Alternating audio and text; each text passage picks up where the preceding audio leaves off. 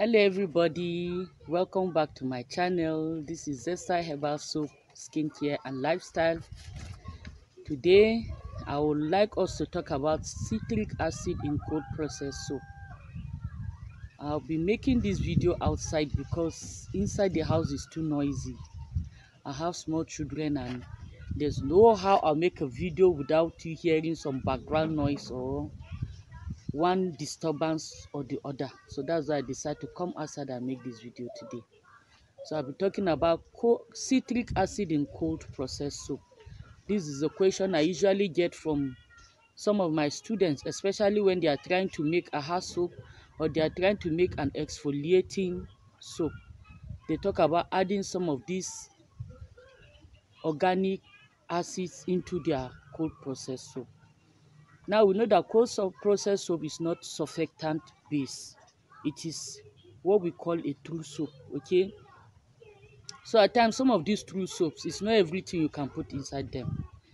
A normal cold processed soap has an alkaline pH of about 8 to 10 on the pH scale, okay? Which is more of alkaline, which is way off from the pH of a normal skin.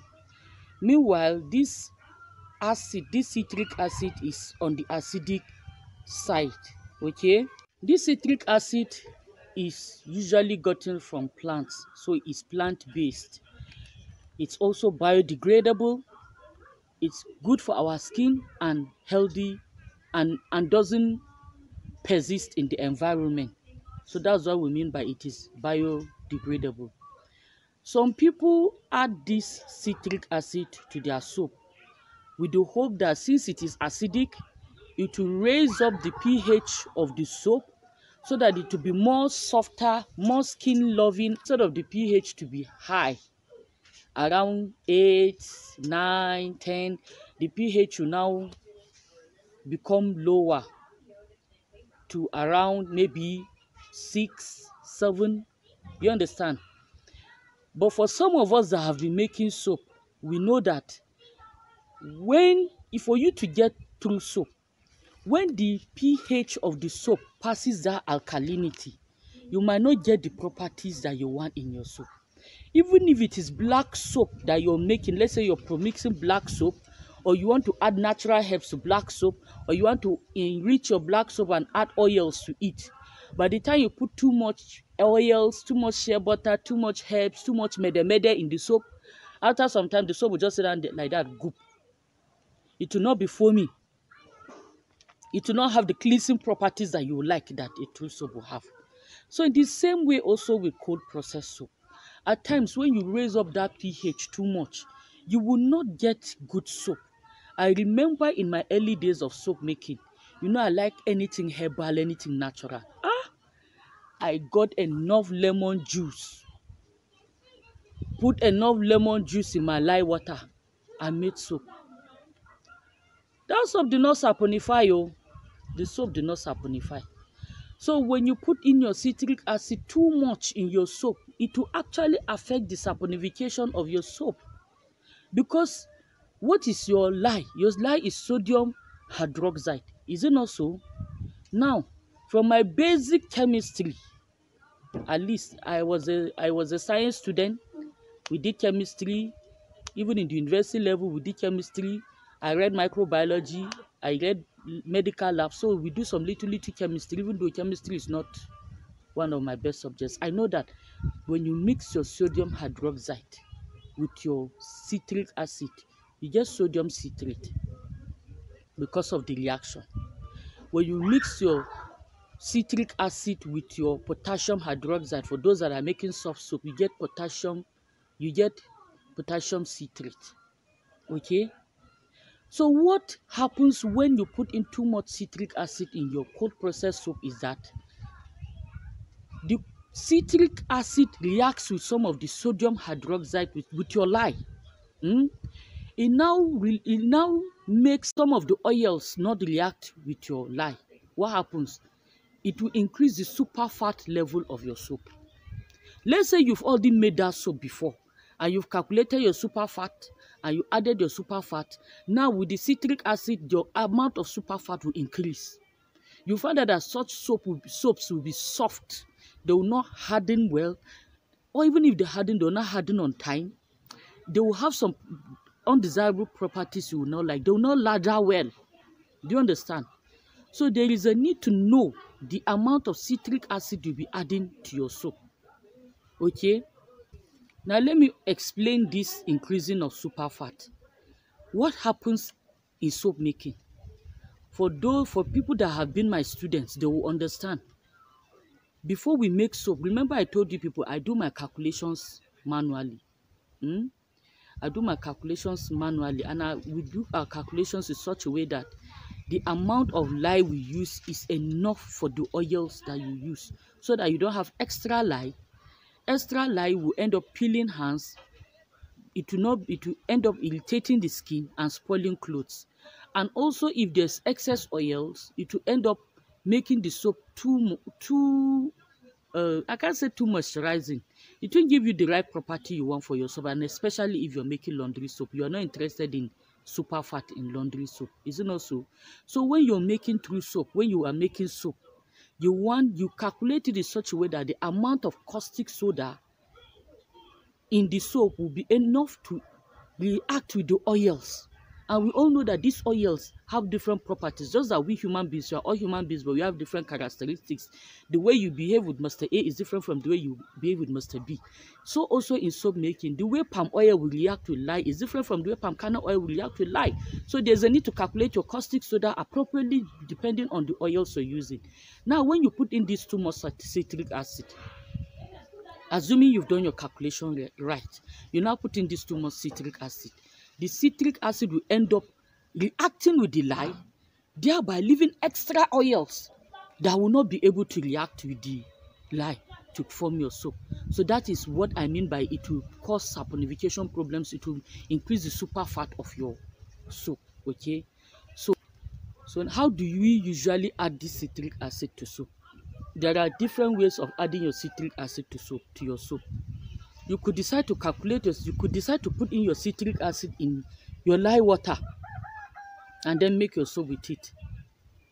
Then you could decide also to add your citric acid after trace either with your hot process or with your cold process. And mind you this citric acid is also used in liquid soap. As you all know most of the time we use it in our liquid soap both for washing and for bathing. Isn't also we use it So these are the ways you could add it in your lye water and you could also add it after trace in hot pro in cold process soap or after your soap has already already cooked completely in hot process soap. These are different ways of adding your citric acid. You dissolve it in water and add. But even at that it will still react with the lye both in the cold process both in the hot process and both in whether you use it in your lye water. It will still end up reacting with the lye. Okay so how do you add what is the right amount of citric acid to put into your soap? Now what are the advantages of adding citric acid to your soap? For those of us that have been making soap for a long time at times you make so much soap that you have some soap sitting around is it so? Or maybe some people that sell soap and take it out and sometimes the soap still um, the soap stays long on the shelf. There are things we call dreaded orange spots These look like rancidity and spoilage. They look like brown spots or not attractive spots on your soap. Citric acid prevents this from happening. Because citric acid, when added to your soap, especially if you're using hard water, ends up reacting also with the extra magnesium, with the extra calcium ions in your soap, thereby acting like a chelating agent, holding up to this ions such that your water will become desirable for the soap. And also that will make your soap lather well. It, will make your soap foam well. So apart from number one it makes soap foam well. It gives stability to foam okay? It work number two it prevents prevents dreaded orange spots from forming on your soap. Number three it acts as a chelating agent in your soap not directly in the soap but indirectly to the water you're using in your soap. Number four it is it it acts like an antioxidant not only to the soap and also it's healing to your skin. Number five it is like a preventive measure in soap against a lot of things like as i said soap chile and dreaded spots in your soap and again hardening and uh, hardness of water now another thing it does this is it reduces or stops scum formation in your in your in your soap or in your in, in your ladder. How will i explain scum? Have you ever bathed in a bath? Not the one that you pour water over your body. The one that you put water in a bath sit down inside and then bath inside. At times when you bath you find out that the water the the soap is not really scrubbing well on your body. It's in one kind as if you as you're scrubbing oil is depositing back on your skin. That is what we call abu that's what we call the that is usually that usually happens in hard net hard water. Then the scum is the foam that forms. Instead of the foam to you know after bathing the foam look bubbly you see this foam looks sticky and it sticks to the edge of the bath or maybe to the edge of your tiles on the ground it looks scum. I don't know how to describe this thing again. Scum. It just forms scum. So citric acid prevents scum formation okay? It prevents scum formation so now how do you calculate your citric acid? There are different ways people do it. What some people do is that for each one part of citric acid they dissolve it with four parts of water that is if they are using 100 grams of citric acid they dissolve that 100 grams of citric acid in 400 grams of water. Then out of that 400 grams of water they use one percent of the total weight of their oils to add to the soap. Do you understand what i mean by that? That is one part of your citric acid. Let's say for example you're using 100 grams. You now dissolve it with 400 grams of water. Then you keep aside then when you're making your soap if your soap is 1000 mils or 1000 grams that is one liter you use one percent of your oils not of the total not your total recipe oh. only your oils one percent of your oils that is what you will now fetch out of that your diluted citric acid that you've made and then add into your soap and what is one percent of 1000 mils that is about 10 that is about 10 mils that's how some people do it. Then another method which me i prefer because me in anything especially when it comes to cosmetics i prefer something that you calculate something that you have a formula something that you're sure. I don't like estimation. Now there's another method which me i prefer. And now now for the second method you need to understand one thing. Hmm? For the second method you need to understand one thing. For every 10 grams of citric acid you add to your soap it reacts with 6 grams of sodium hydroxide. It reacts with 6 grams of sodium hydroxide. That is for hard bar soap. That's for hard bar soap. Then for every 10 grams of citric acid you put in your soap it reacts with with 8 grams of potassium hydroxide that is for your soap soft soap now how would you know the amount of citric acid to add else? Okay? That is for each 1000 grams for each 1000 mils or 1000 grams of oil you want to add 2% as of citric acid to it. That is 20 grams of citric acid to each 1 liter of oils that is how it is done. Okay? Now assuming you are making laundry soap you have to calculate for this extra citric acid you've added. You have to calculate the number of grams of sodium hydroxide that this citric acid have used up and then replace it back into your soap to react to the extra oils. This calculation we'll do in our next video. Okay? So now in summary what have we learned today? We have learned that citric acid is good in soap because it prevents dreaded orange spots. It acts as an antioxidant. It it it acts as a preservative to your soap. It it it it it forms potassium citrate or sodium citrate which acts as a chelating agent in your soap. It reduces scum formation. It reacts with the metal ions in hard water okay so that your soap will end up lathering well. And what else did we learn?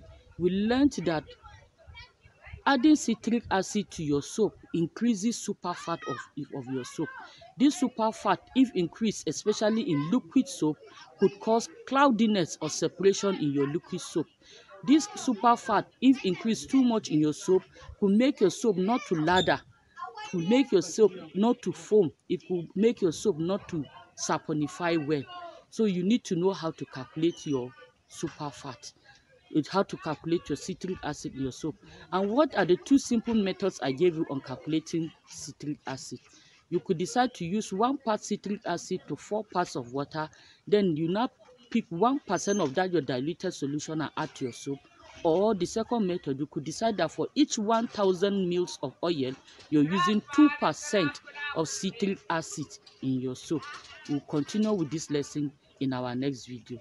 If you watch this video up to this point and you've not subscribed, how you've not done me well, though, please subscribe to my channel. Please subscribe so that you'll be getting more tips and more lessons on cold process soap making. Thank you for watching my video. Ciao.